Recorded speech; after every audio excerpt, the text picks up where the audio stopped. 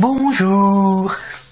Notre président de la République, M. Emmanuel Macron, a déclaré à propos de la pauvreté que nous ne sommes pas les plus mal lotis en France.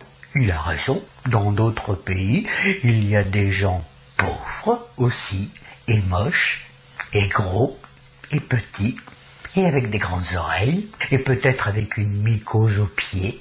On n'est vraiment pas les plus mal lotis. Il a toujours pire que nous. Merci, monsieur Emmanuel Macron, de nous faire prendre conscience que nous sommes heureux et que ça pourrait être pire.